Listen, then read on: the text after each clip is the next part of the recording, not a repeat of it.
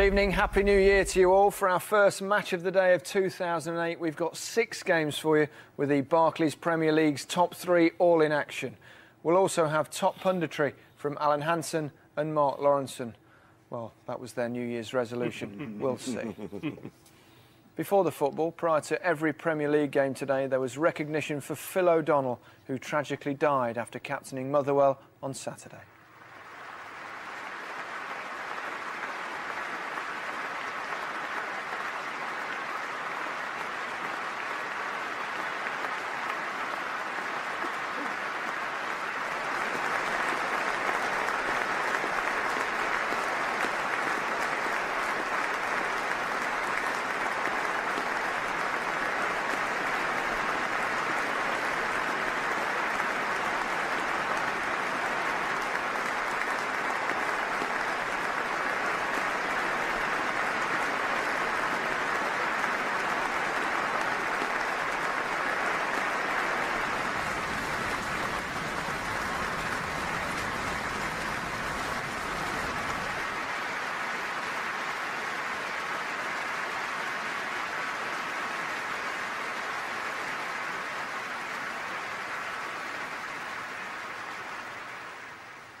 We start at match of the day at Old Trafford, where the champions Manchester United faced Birmingham City. The commentator was Steve Wilson.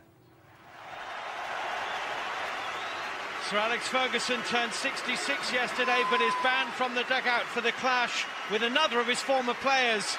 Alex McLeish won nine trophies under Sir Alex at Aberdeen. No room for error today after Manchester United's surprise defeat at West Ham.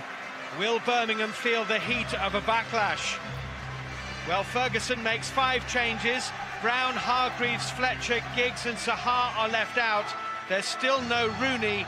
O'Shea, Anderson, Nani, Carrick and Park Ji-sung come in. Park for his first start since March.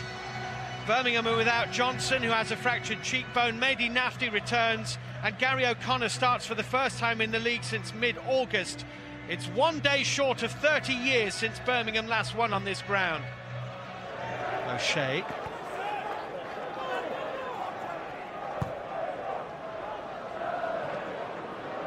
Kenny just got there ahead of uh, Ronaldo, but Evra's onto it. And now Evra bursts goal side. Good ball in! Tevez off the post.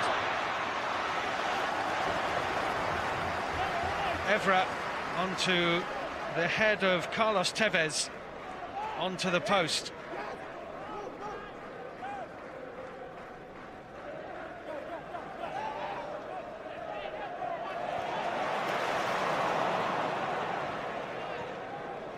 Nicely from Muamba to McSheffrey.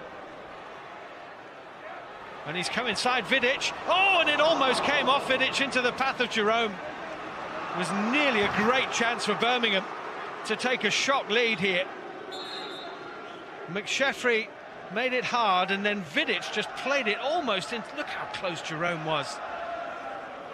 Carrick, Nani.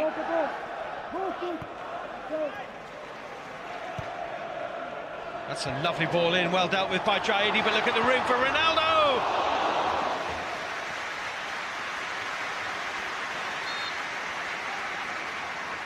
Well, a clear opportunity for Cristiano Ronaldo, made by the quality of the ball in from Carrick. Jaidi had to deal with it, and that meant that Ronaldo was left. Look how this dipped.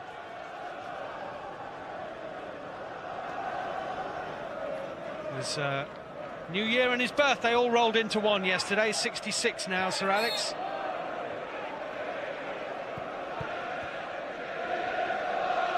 Rio Ferdinand for Manchester United.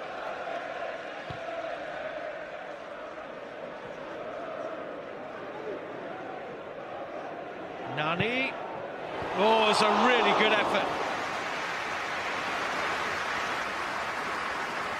Well hit, it was curling, and it's only about six or eight inches wide. Returning from this long injury layoff, it's Park to Anderson, to O'Shea, to Anderson for a corner.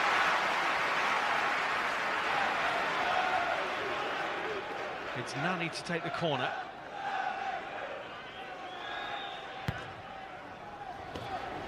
Vidic got something on it. It's a big appeal for handball as Ferdinand swept it towards goal. Queudrue got a head on it. Nafti with half a clearance. There's a big shout, mainly from Rio Ferdinand, actually. I think it would have been harsh.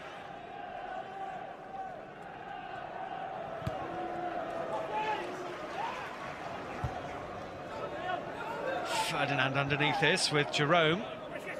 O'Shea. Rio Ferdinand, Cameron Jerome down at the moment for Birmingham. Manchester United are playing on here and they found Carlos Tevez. Birmingham won't be happy if United score from this and they're going to. I think it's Tevez. They have.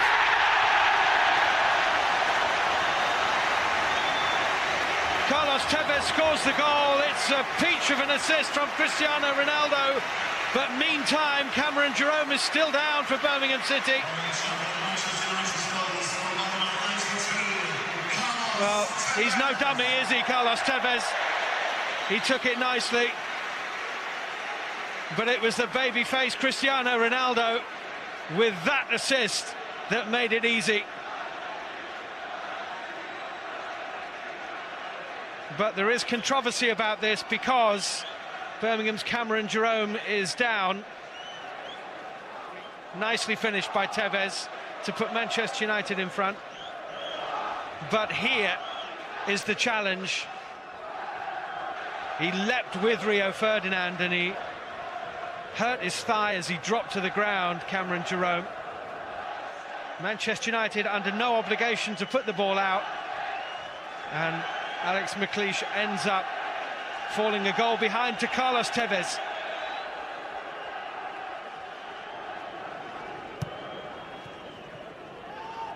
Here's Anderson. Carrick. Ridgewell's foul on Carlos Tevez. It's going to be a yellow card here for Liam Ridgewell. He's already served one suspension this season, Ridgewell, for accumulating five yellows, and that's his sixth for the foul on Tevez.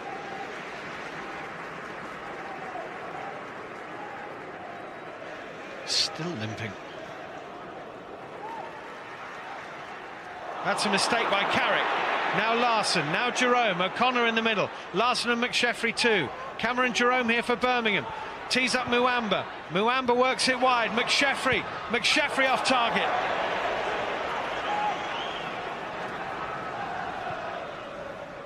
Just hurried it and snatched at it, McSheffrey.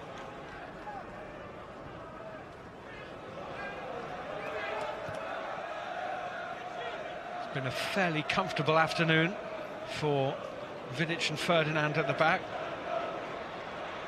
And Ferdinand's found Park Ji-sung with an expansive ball. And that's a great cross. Oh, and it's a good save by Taylor to deny Ronaldo. Really good save. Don't often get the chance to see just how good in the air Cristiano Ronaldo is, because he's almost always wide, but that was a really good header.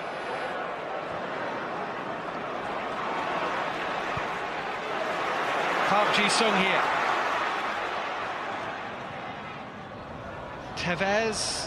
Oh, brilliant from Tevez. How did he do that? He's hit the post. Ronaldo finds room. He's still going. Oh. Blocked in the end by McSheffrey. Cristiano Ronaldo with an astonishing dribble through the most packed of penalty areas. Denied in the end by Gary McSheffrey after Manchester United had hit the post after his own bit of brilliance from Carlos Tevez. Look at Ronaldo now. Beats one, beats two, beats three, and then hits McSheffrey. Tevez. Carrick. Nani. Tevez in all kinds of space, too much space. Taylor got a hand to it, O'Shea couldn't deliver. Ridgewell can clear.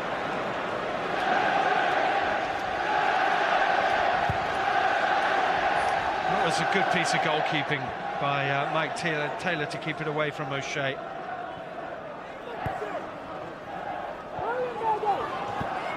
Nafti through to Forssell. Now can he get the better of Vidic and Ferdinand? Mikael Forssell's done well with this. Still Forssell. Tried to get it wide to Kelly. Nani was there. Suddenly there's a little bit of anxiety about Old Trafford. Nafti. Larsson is there.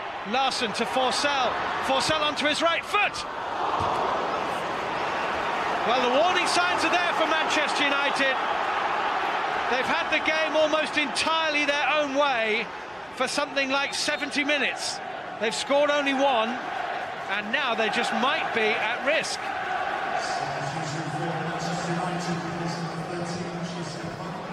Here's to Ridder. Ferdinand's header falls to Forssell. Oh, he had Larsson to his right, he had O'Connor to his right, and he went for goal with what was always going to be a difficult shot to execute. Well, he's in a good position, but not as good a position as those to his right-hand side.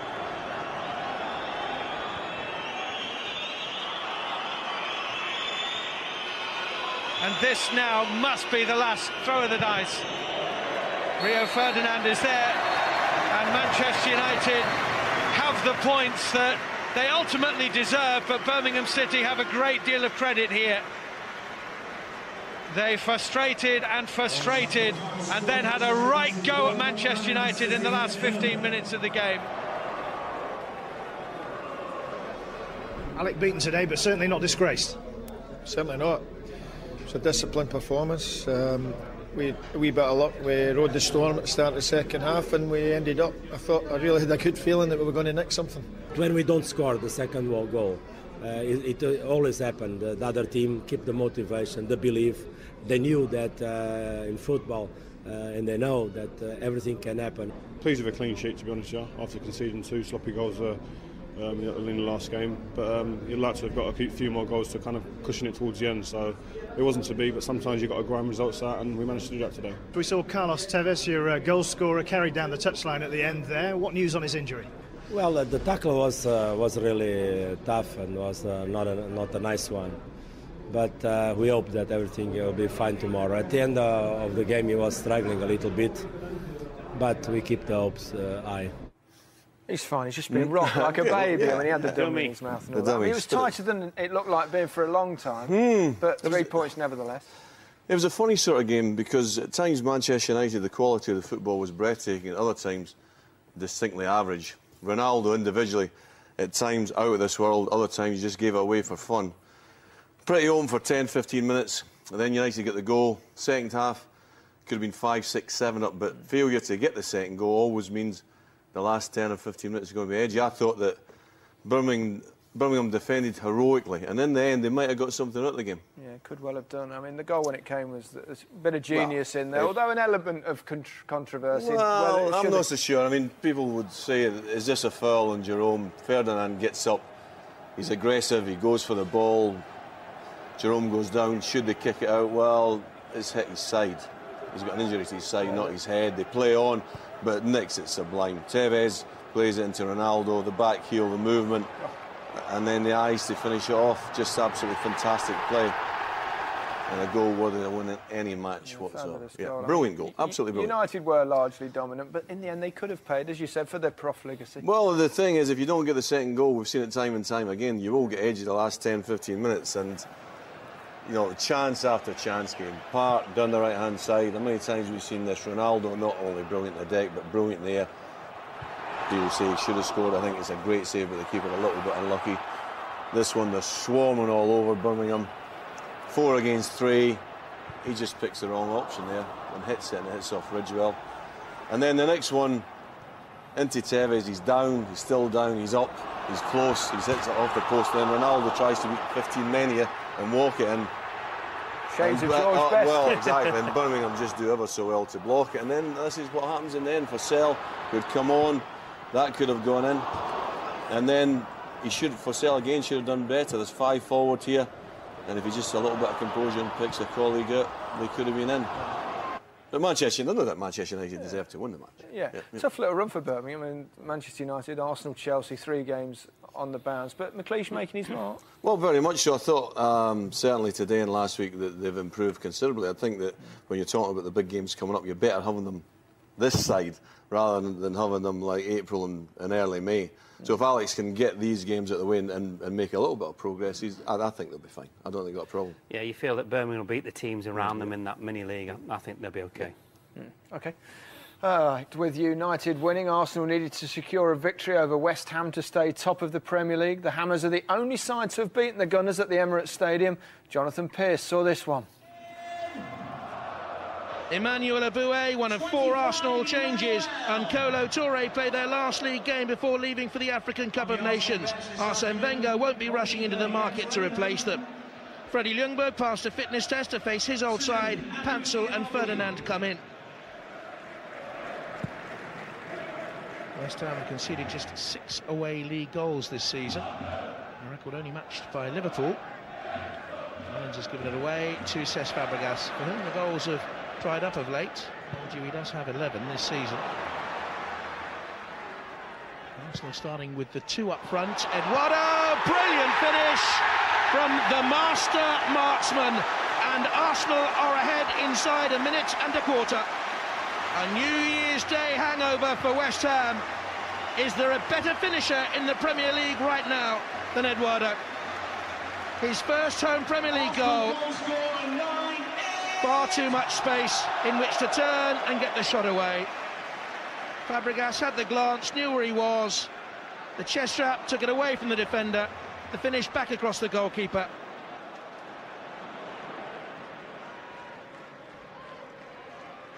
McCartney looking at Carlton Cole. Got a chance here after the mistake by Hoyte to get a shot away. It drifted wide. A mistake by Hoyte. But West Ham have the corner from it. Just nicked away off Kolo Touré. Noble will take it.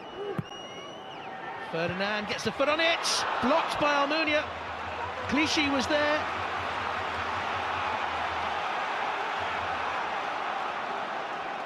Clichy well positioned. Oh, and it was deflected onto him too, off Carlton Cole.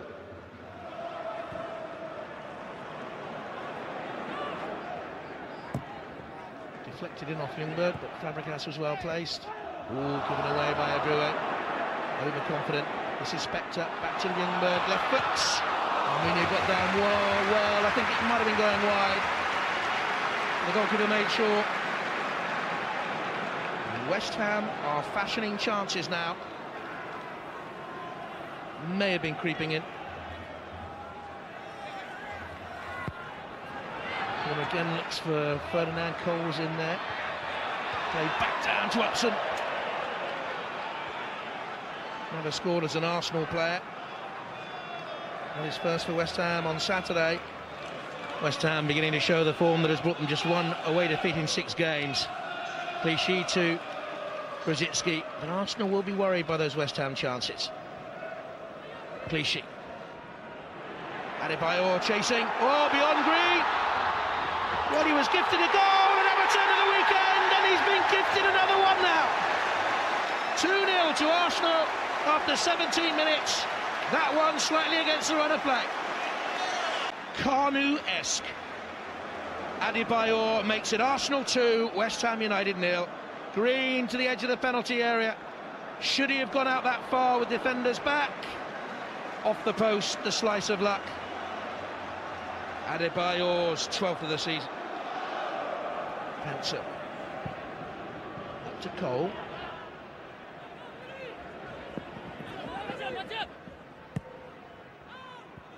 Mullins. Cole has stayed wide. Who's in the middle then? Well, in there. Oh, that's a great effort. Acrobatics from the Ghanaian. Who's yet to score for West Ham. Never really got amongst the goals at Maccabi Tel Aviv or Hapoel Tel Aviv. West Ham United have had far more chances than Arsenal. Another long through ball by West Ham, and Paintsil's chasing after it, and he's got in, and Almunia stood up to it. Paintsil actually looked around and appealed to the referee for something.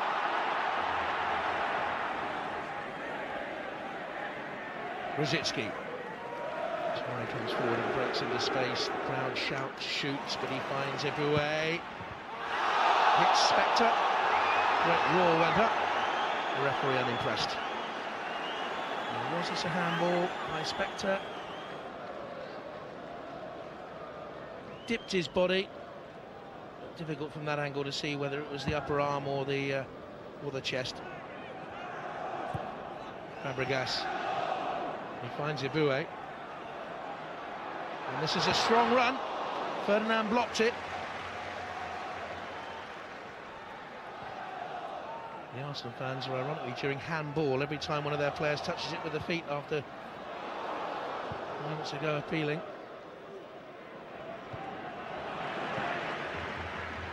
Rosicky.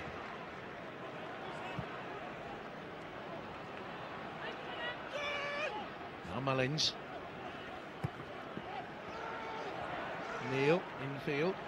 Collison. Always giving it away. Adebayor beyond Spector. He's seen the options, played into Eboué. It's Arsenal's first real effort since they scored their second goal. And Adebayor drops deep. He needs one of the midfield players to get forward in support. Kolo Toure can bring this forward. Fabregas brings Hoyte into the play. Spector got the block in, but it bounces Arsenal's way. Eboué with the cross. Eduardo at the far post.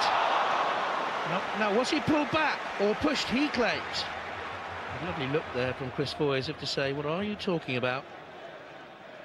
There was the cross, and that's what he was talking about. There was nothing wrong with Neill's challenge. Oh, but was he tucking on the shirt there?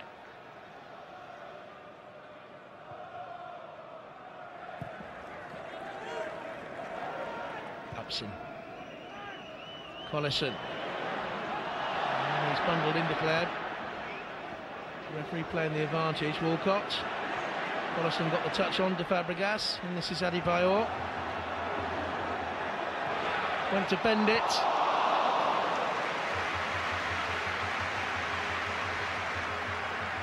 Five of the last seven managers who've topped the table on New Year's Day morning have won the title. And now Hleb. Cap in front of can motor into it, and he finds Rosicky. Poked at Green. Away by Collison.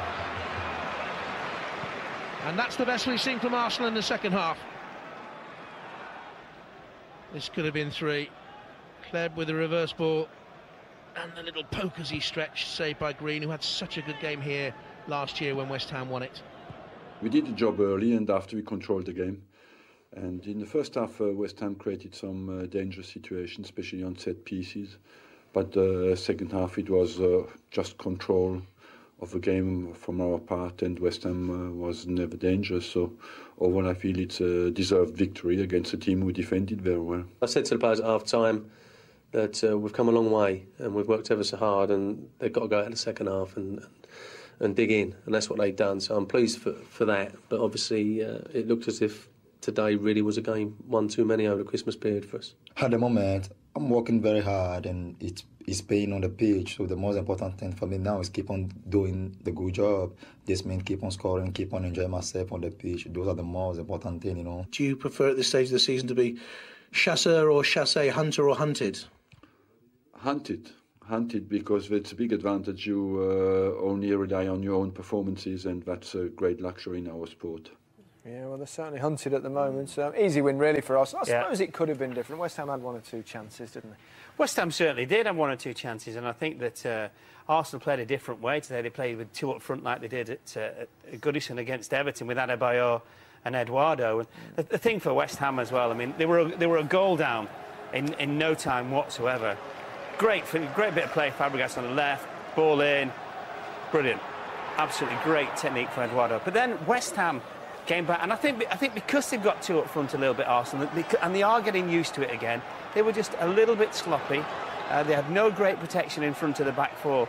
And, and West Ham, in this period of play, should have actually got themselves level. Freddie Ljungberg here back against his old team was a little bit unlucky. And Arsenal knew they were winning. Mm. West Ham knew that they couldn't get back in, and that and that was the end of the game. So Alan Kimsey said that we looked mm. a bit. Why, why do you leggy. think um, Arsene Wenger's changed his tactics a bit? We don't customarily see him playing two up front. No, but it's not necessarily just a two up front. If, if you remember when he had Henry and Bergkamp, he had one obviously Bergkamp yeah. coming off. Adebayor does that. I think Eduardo likes to run in behind people. You've got Van Persie to come back in. You've got Bendtner, who's made a, mm. a great impression. And they're a little bit lucky with uh, Adebayor because his team Togo haven't qualified for the African Cup of Nations, so they, they don't miss him. It's just it's just another That's option. all relevant, but Alan Shearer said after the Portsmouth match that Arsenal, no variation well, whatsoever. Hey, Arsenal's taking note, and he's gone for two up front, a little bit of variation. He upset Arsenal, you know, Al. And he's, they're winning. Yeah. The proof of the pudding he is upset like him, didn't he? He's a bad man, that Shearer. if you're going to win the championship, the way to apply pressure is win your matches 10 points out of 12 at Christmas. Yeah. That's applying pressure. Yeah, it certainly is. Uh, next, let's see if Chelsea could keep their title aspirations alive. They pop down the road to face a Fulham side under new management. Behind the microphone at Craven Cottage was John Motson.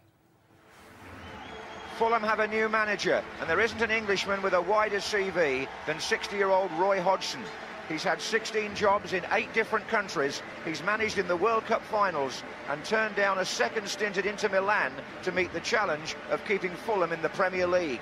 It's a tough call for Hodgson. They've only won two of their 20 games and have only beaten Chelsea once in 22 matches since 1979. Hodgson watched at his 1-1 draw at Birmingham and saw Hameur Bouazza red-carded, so Moritz Volz, himself back from suspension, comes into midfield. He makes one other change. Diomansy Kamara preferred up front to David Healy. The only change in the Chelsea team is the inclusion of Steve Sidwell in midfield in place of Mikel. Wayne Bridge continues at left back in preference to Ashley Cole. And in the continued absence of so many senior players, Michael Ballack captains the side. Paul Konchesky getting forward from left back. And a nice little ball tucked inside for Kamara. And saved by Hilario. And Kamara comes in again with Dempsey. And Mark Halsey says goal kick. Well, there was a moment of anxiety here for Chelsea. Good little ball in there from Konchesky to Diomansy Kamara. And Hilario spilled it a bit.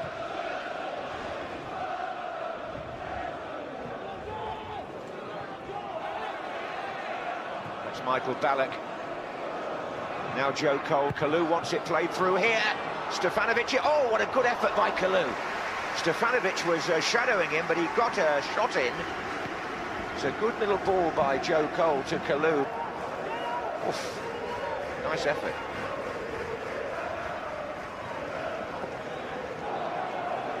This is Kalou. All right, Phillips is on the chase here. He's ahead of Konchesky. Shaun Wright Phillips for Chelsea. Just past the far post. Konchesky was second in this foot race. Shaun Wright Phillips is away here. Not the greatest angle, but then again, not the greatest finish. Rather uh, dragged it across the uh, face of goal. Well, Roy Hodgson hasn't yet taken a training session. He watched one uh, yesterday, taken by his staff. But he'll be on the training ground on a daily basis from now on, I can tell you that. This is Kamara. On this side is Volz. Turns inside Bridge, Moritz Volz. Oh, Joe Cole with the tackle, penalty to Fulham. After just nine minutes of Roy Hodgson's first game in charge, Fulham have a penalty. It was Joe Cole on Moritz Volz, and Mark Halsey didn't need to think twice. There is contact, and Danny Murphy has stepped forward here to take the kick. Well, this could be a big moment for Fulham. And a good start for Roy Hodgson. Danny Murphy tucks away the penalty, cool as you like. And Fulham have taken the lead against their West London neighbours. In the end, Hilario went the wrong way. And a round of applause from the new boss.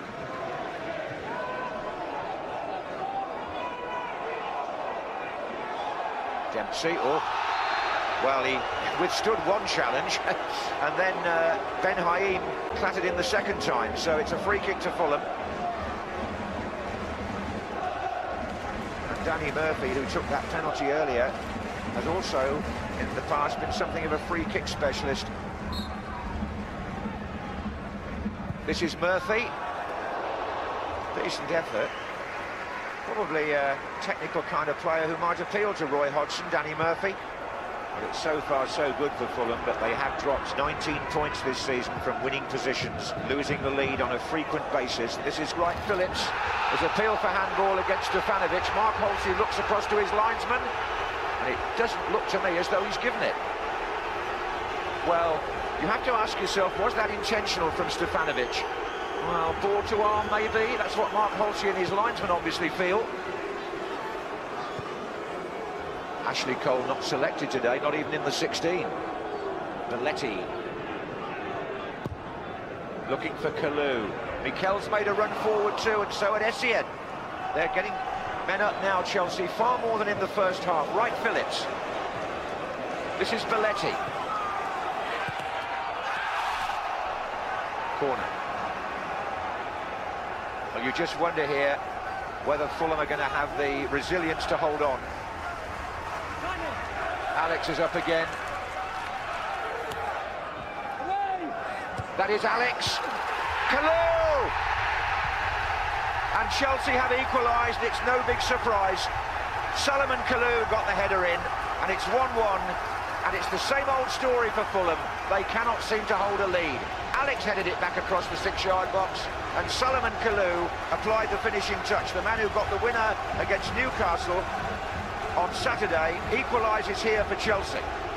It's his seventh of the season, and again it's a sorry second half tale for Fulham. Essien. Ballack. Kalou and Wright Phillips on the chase again here. Joe Cole.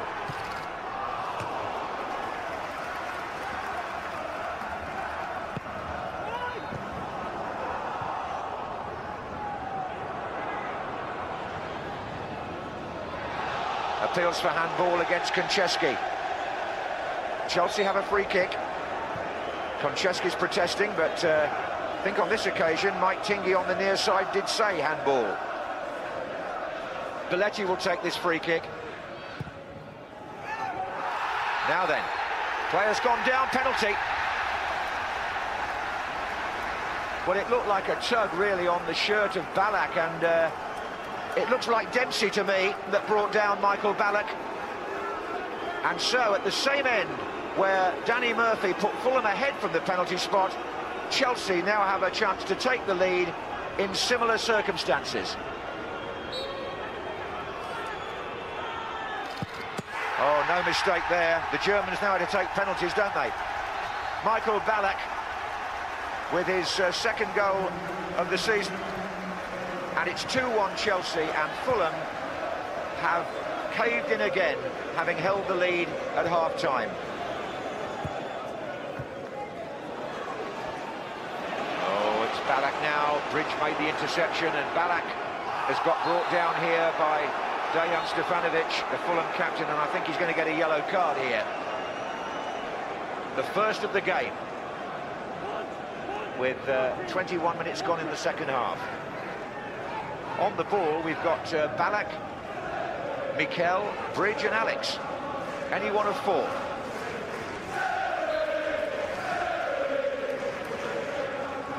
And it was Ballack. Oh, that was close. Well, his reaction suggests it was mighty close. Stefanovic. on by Dempsey for Healy, and Healy tries his luck from the corner of the penalty area. We've seen him score from there before for Northern Ireland, but not today for Fulham. But it will need something uh, out of the blue like this if Fulham are going to rescue the game. In the middle is Kalou. Two Fulham defenders covering him. Oh, not a very good header by Bocanegra. Pizarro should have made it three. It was virtually his first contribution after coming on, and he hasn't scored Claudio Pizarro since the opening weekend of the season against Birmingham for Chelsea. But he had a chance there if he could have got that volley on target. Always when we play one o'clock, like we play against uh, Aston Villa, we are not coming to the second, to the first half. First half was not good.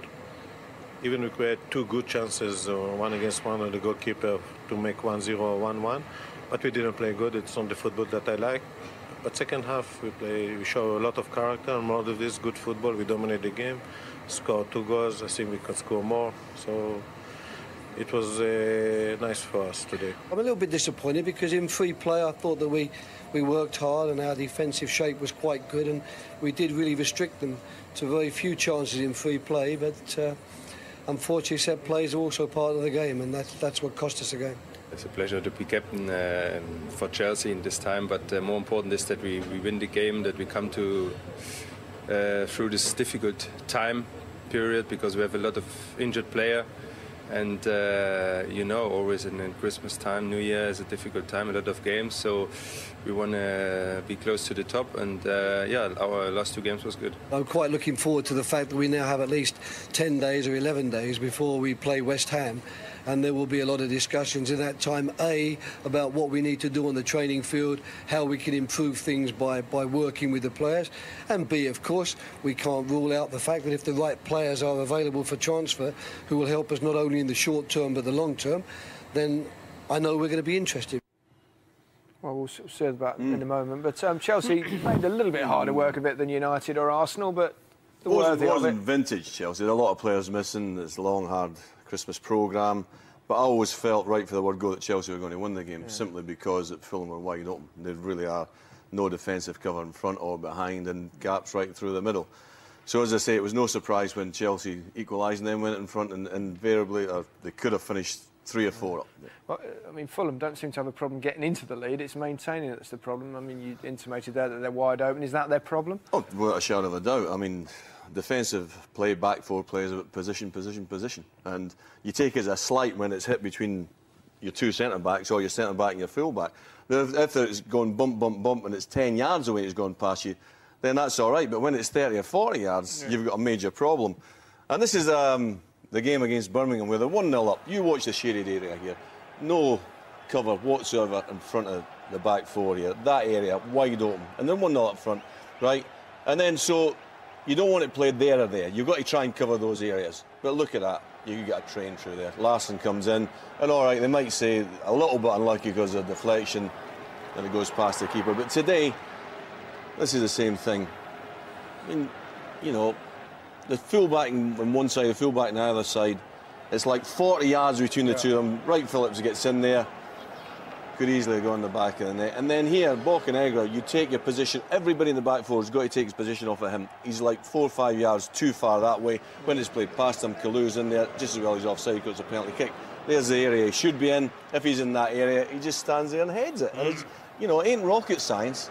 I mean, we've said time and time and time about the function you do as a back four how mm. difficult it is to score against you if you get four players in position. That's what it's all about. In a, as a unit, and that's yeah. what they've got to try and do. Yeah, the, the top three appear to be pulling clear. Liverpool drop points again. Can we rule them out?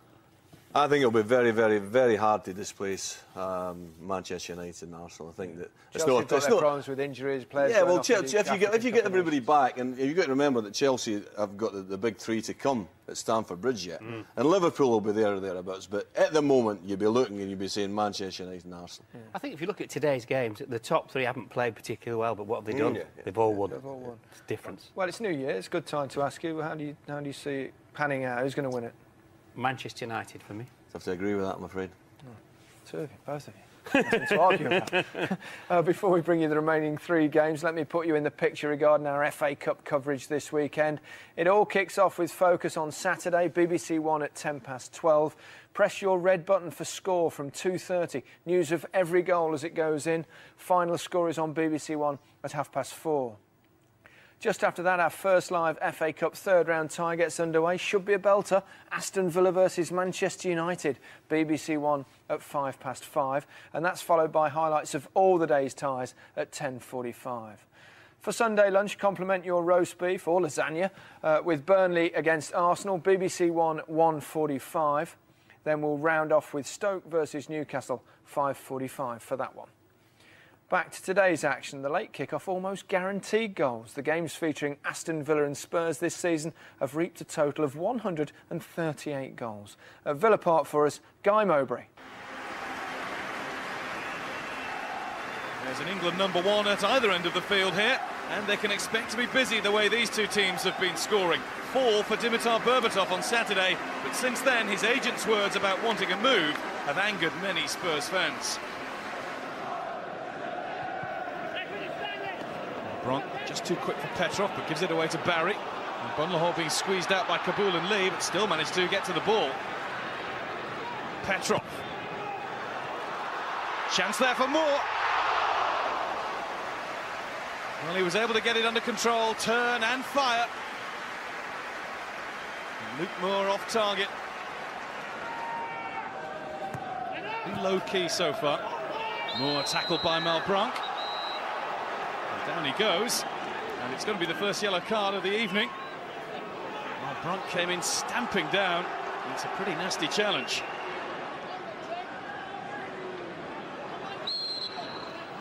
Barry, easily dealt with by Yoon Lee. Malbranque has to be careful here. Gareth Barry beat him to it. Now Petrov. Difficult one to defend. Larsson! Oh dear, what a miss. It's a glaring miss from the defender who's already scored four times this season, twice against Spurs. And he should have put this one away. He had the time to set himself, but he went to try and hammer it. No defenders in his way, admittedly, but Martin O'Neill knows that's one that's got away that shouldn't have done.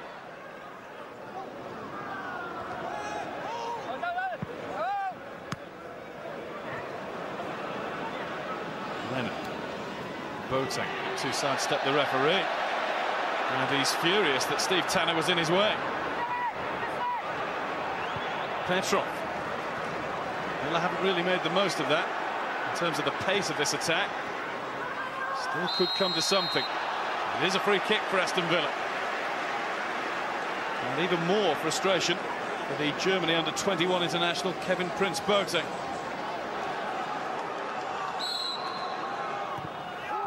Young in, that's Mellberg!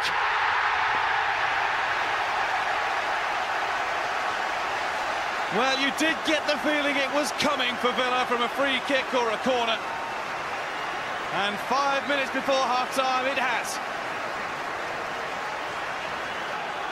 Mellberg standing all alone to head his second goal of the season. Combination of Dawson and Boateng lost their bearings. Mellberg found the corner. Martin O'Neill's men lead 1-0.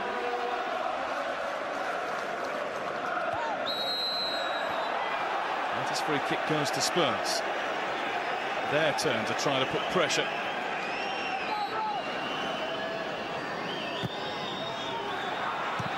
Came to Dawson. Now it's Berbatov. Straight against Carson.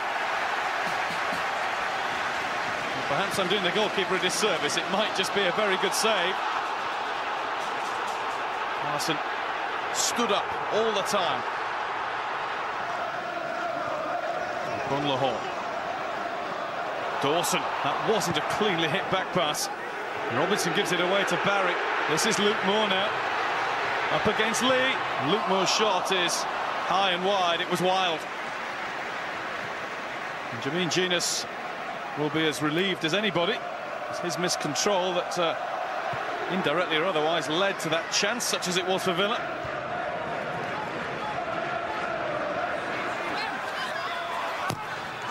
Oh, it was challenging. And it's off him for the corner.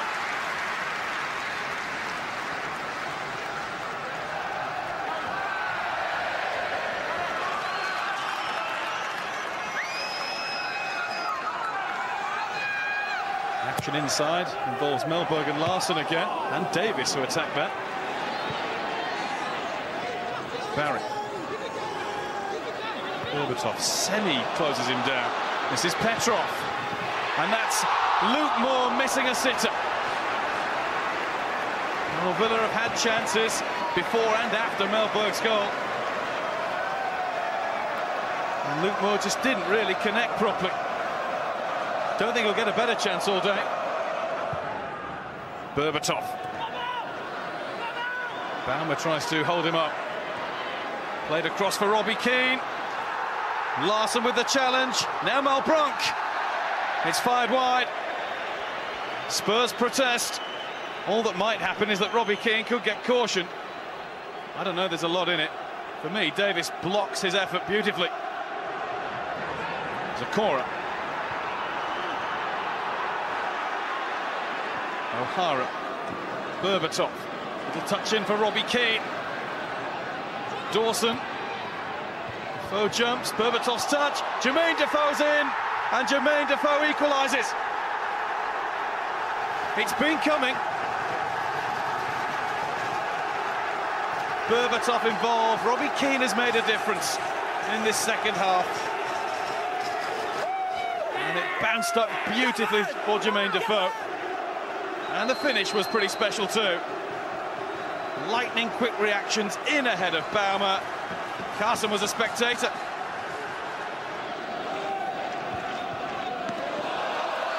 To Villa corner. Six minutes to go. Larsson against Jamie O'Hara. Good delivery from Barry. It's Larsson!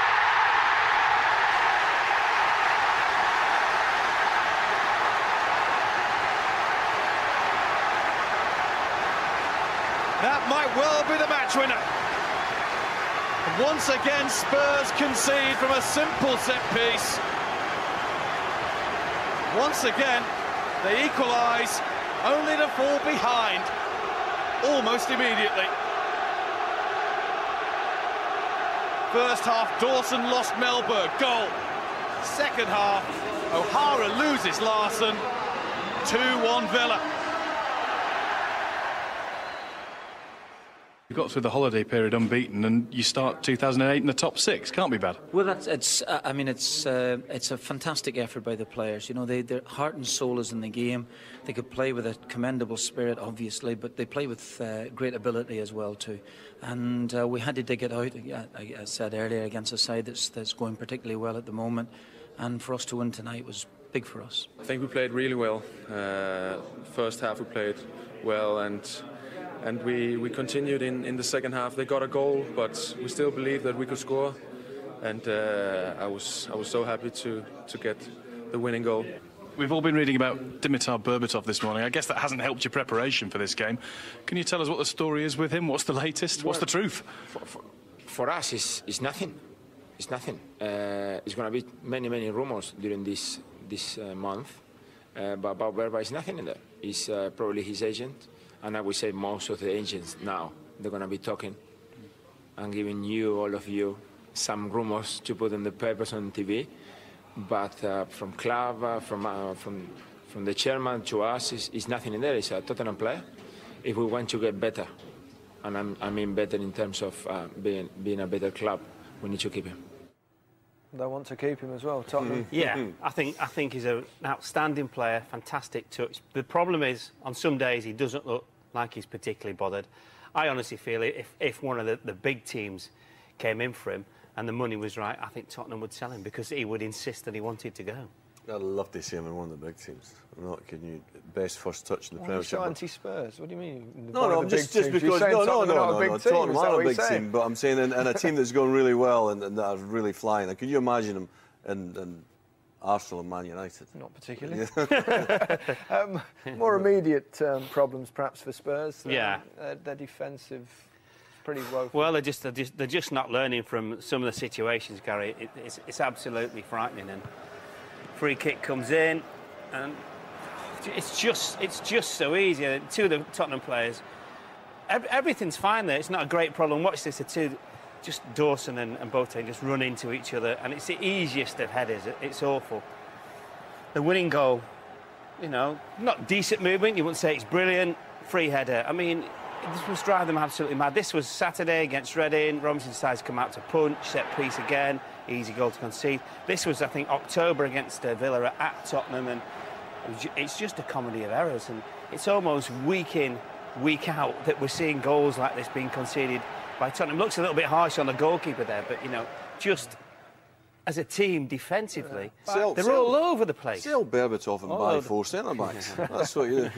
It's, it's What crazy about- because yeah. they are the to me they are the only team Tottenham are the only team that can possibly break into Break the top into the- four. I think, I think Villa the front, well, the front four are really good. Mm. Yeah. Front four. So, and, you know, he said before, defensively, it, it's not that Yeah. difficult to sort it out, but golly, that needs But some Aston sorting out. Villa seem to have got mm. things sorted out. I think a good w- run. Yeah, good run, work in progress, work very hard, pace in the right areas. Still needs a couple of players, I'm sure, and they might even address that situation in January, but they're only going up, Aston Villa. And a lovely game to come on Saturday.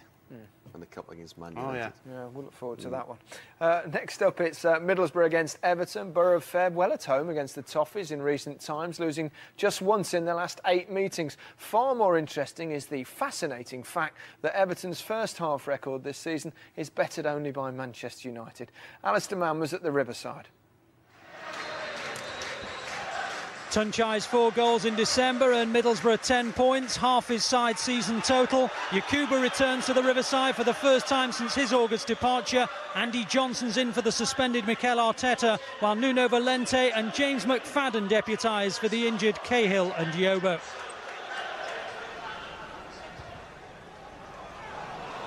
Now Tuncay's onside here. He's overdone that with a touch, and Howard came out very, very quickly. Downing, Howard getting back into position again. So too Jagielka. And it just opened up for Tuncay, but uh, though the offside flag stayed down, his touch deserted him, and he's ended up with a hefty blow as Tim Howard came out at speed to thwart him. Well, this time last year, Gareth Southgate began 2007 with a five-match unbeaten run, which began with three straight wins. They'll be hoping for a happy new year this time too. Rochemback. Young. Patient build-up by Middlesbrough. Young on the overlap, and it's a decent teasing ball in, and Downing, goodness me, whipped it from one side of the goal past both posts and beyond. Did well to get any kind of angle on it. It's not over yet. Howard gathers it in. Well, Phil Jagielka was back on the line as Young delivered the ball in towards Downing. And Downing struck him with his cross shot. Everton will also want to prove that without Tim Cahill, they can still find the goal with regularity. The likes of Johnson and Yakubu will surely prove that he is not the only man who can score. And Tuncay is a player who can always find the net for Middlesbrough. And had that ball been something that he hit rather than hitting him, then maybe we would have had the opening goal.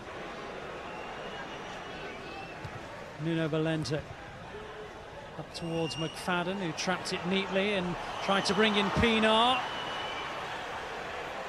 Yakubu!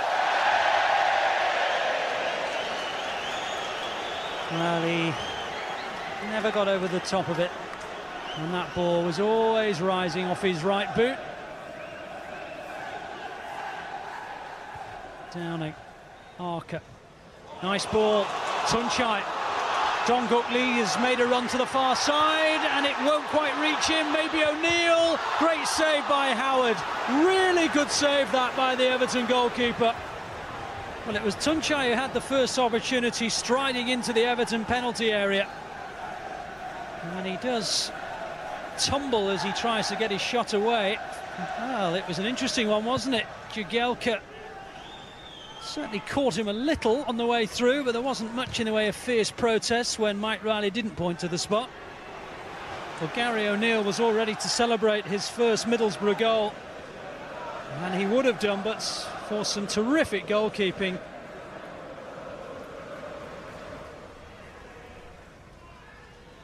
Yakubu. Pienaar. Johnson, it's opened up for Johnson! And he's tucked it in!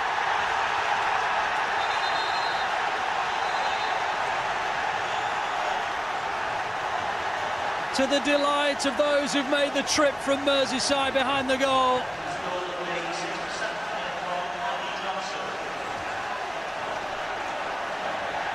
Pienaar Johnson, just the slightest of angles, and he found the corner beyond Schwarzer. It's his fifth goal of the season, his fourth in the Premier League. And in the absence of Tim Cahill today, Johnson has taken the opportunity to show that he will find the back of the net when there's a chance to do so. What a bonus that is for David Moyes in a game of few chances. They've taken the first of them. Only Derby have scored fewer than Middlesbrough this campaign, and uh, they're going to need at least one today. Here's Downing, who switched wings. Thumped away by Lescott, and it breaks quite favourably for Everton here with McFadden. Johnson to the right, Yakubu far side on the left. Here's Pienaar. Middlesbrough have regrouped. Everton still have possession. Neville. Carsley. It was precise, but it was just off target. He was very deliberate with the way that he hit this. His body shape and the way he side-footed it, trying to just bend it beyond Schwarzer. Here's Pienaar. Pogatetz gets there in front of Johnson. Downing given away. McFadden, Yakubu screaming for it. Yakubu's waiting. Johnson, McFadden, 2 0 Everton. Game one, surely.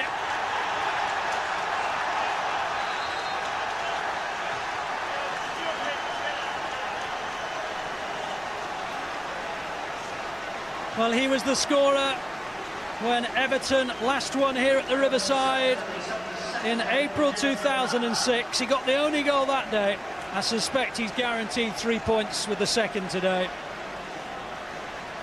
Back in the side and doing what he likes to do for Scotland on a regular basis, finding the back of the net. And amidst the celebrations, he was pointing at his armband. A former Motherwell employee, of course. He feels, I'm sure, the tragedy of his friend Phil O'Donnell. For some reason I knew I was going to score because I, I, I had it planned that that would be my celebration and I uh, just like to dedicate my goal to Phil and his uh, family and uh, just to let them know I'm thinking about them. We had uh, some good bits of fortune at the right moment, but uh, I have to I have to praise the players. You know, the, we had a defeat the other day there, which uh, we were disappointed with. We've come up here with, with a lot of injured players and uh, the boys have put on a great show. We've, we had no midfield players available hardly today, so so it was a great three points. We didn't get the win today, but uh, they've got to stay strong together, and we've got to make sure that we, we keep everybody going and keep their enthusiasm because it's that's the thing that can suffer when you keep uh, getting beaten, especially at home. Another fine performance uh, from Everton, battling side. I mean, lost to United and Arsenal recently, but apart from that, they haven't lost any eons. Yeah, I mean, I like them. I think they've got a really nice battle. Good goalkeeper, strong defensively creative in the middle of the park. Arteta, who didn't play today, and up front, Yakubu and Johnson, lots of pace and strength there. You know, so things are going great for Moyes and his men. Yeah, as for Middlesbrough, I mean, it was it was always going to be important who scored the first goal. Well, I think Gareth Southgate game. said that after the match. You know, the first goal was mega yeah. because of the hard Christmas programme, and and Boro had a chance here. Tuncay, Jagielka comes after him. You know, the tackle nowhere near the ball. Should he have gone down? Could he have been a little bit more clever? Possibly obviously doesn't take the penalty. and then, you know, I think Howard makes a wonder save after that, and and then Everton got the the part and scored the opening goal, and, and that was the difference. He might just be honest, Tuncay, might he? Yeah. Yeah. Nothing wrong with that in a modern game. Be the first one he's going to say. the first one. we, sh we shall applaud honesty. Our final game this evening sees Reading attempt to beat Portsmouth for the first time in 10 years. The last time they met earlier this season, it was 7-4. You can assume by the fact it's on last that there was no repeat. Uh, watching at Madejski Stadium was Martin Fisher. Two more goals for Dave Kitson on Saturday took him up to eight for the season. Despite the 6-4 defeat at Spurs, Steve Coppell names the same side. Glenn Johnson returns for Portsmouth at right back. Their top scorer Benjani got a hat-trick when these sides met at Fratton Park back in September.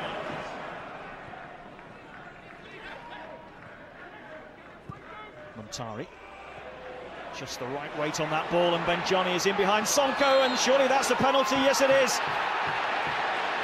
No hesitation in the mind of Mike Dean, the referee. What further punishment awaits the Reading number five, though?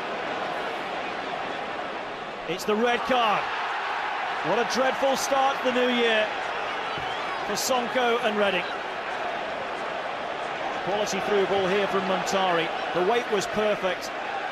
Benjani in behind Sonko, who got on the wrong side of him. It was a clumsy challenge.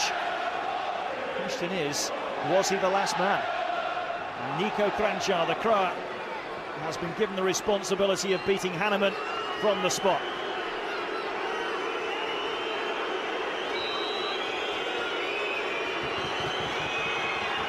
The stutter, and he's hit the post and missed it.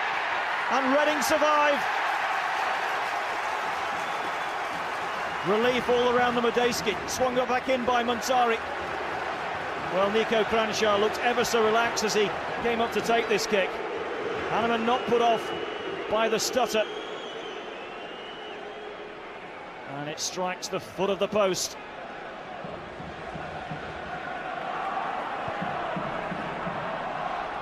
Doyle, what a good run away from two.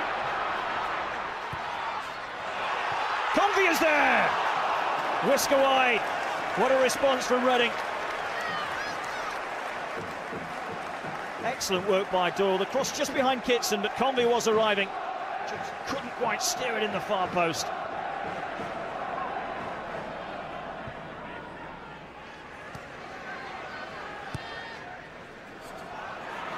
Bugatti up, shadowed by Harper.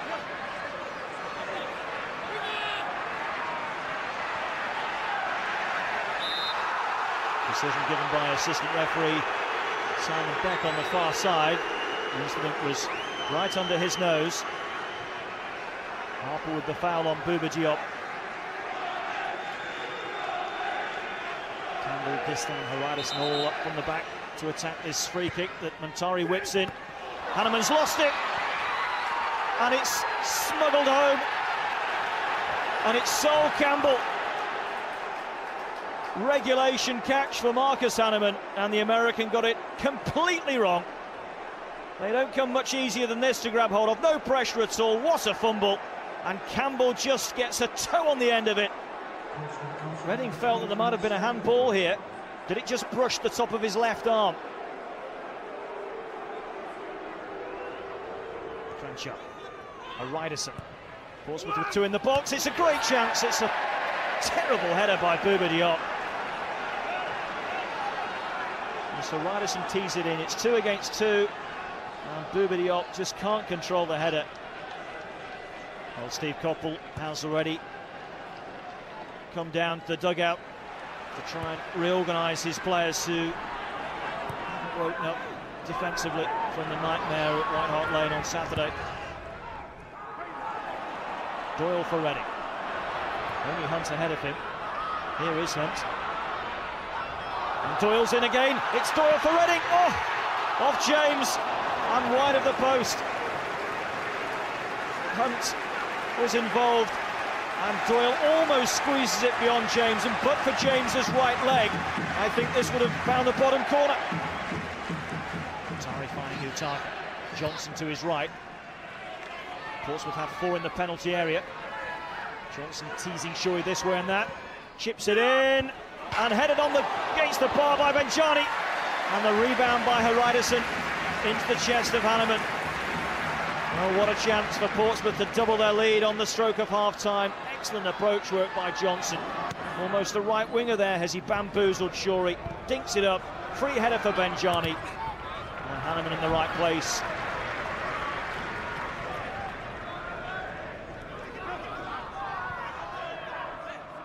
Johnson.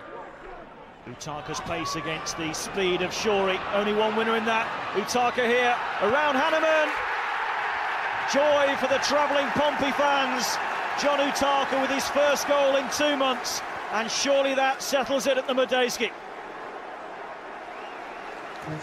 Here, it's a sprint between Utaka and Shorey. Shorey no slouch, but Utaka is so, so quick and calmly takes the ball beyond Hahnemann and strokes it home for the killer second goal for Portsmouth.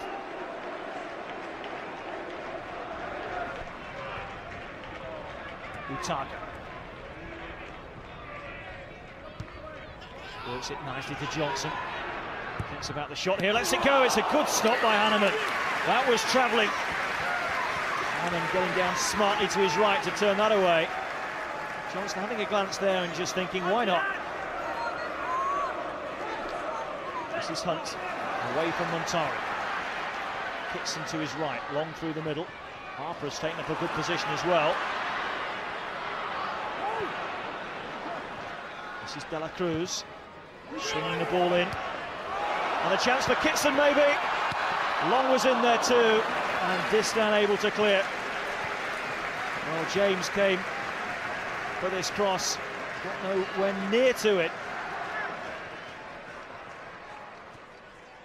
Immediately after the first whistle, we're down to 10 men, and you know, thankfully they never scored from the penalty, but it was always going to be a hell of an uphill struggle from there, and you know, a mistake led to the first goal, and you know, 80 minutes um, with 10 men's not a good idea. You thought you'd escape when uh, Kranjčar strikes the post, but uh, then a horrible moment for yourself. Yeah, just a whipped in cross, and um, you know, it got runners coming in and everything, and you know, I just should have punched it, and you know, I tried to hold it, and um, you just pay the price. We've been on John for a, a, a few weeks now to uh, start delivering, and uh, he can finish the kid, but um, and he's got great pace. Uh, we just need to see it a little bit more often. Well, it wasn't a great start for Reading, was it, really? No. Um, worse, sending worse. off in the first couple of minutes. What did you make of it? Um, well, I don't think there's any argument whatsoever here that Sonko just basically upends your man and he's gone. There's, there, there is absolutely no argument about it. It's just a daft thing to do. Yeah, it's completely daft. So, you know, I think Stevie Coppell says then you've got 80 plus minutes and you, you, you just you can't chase the game. What I will say about Reading, they, they never never made a great fuss about Said this. he should have punched it, should have caught it. well, had he? caught it would have been easier, but Sol Campbell, he was actually offside, but they, they made no great deal about it. Reading, they probably thought it was more handball than offside, but it was definitely offside. But Portsmouth needed the win. I think Reading's home form, obviously, is Okay. key to keeping up there. All right, thank you very much. Uh, let's uh, take a look at the Barclays Premier League table. The title hopefuls maintain the status quo with Arsenal remaining two points clear of Manchester United and Chelsea a further four points behind. Liverpool with two games in hand find themselves 13 points off the top prior to the visit of Wigan. Everton and Villa move above Manchester City who face a trip to Newcastle. Derby are in desperate need of victory at Bolton. The Rams are eight points adrift of free-falling Fulham. Roy Hodgson's new side were the only club in the bottom five to play on New Year's Day. None of the sides in the bottom half managed a point. Well, that's it from us. A new year, but nothing new about the top three from all of us here. Good night.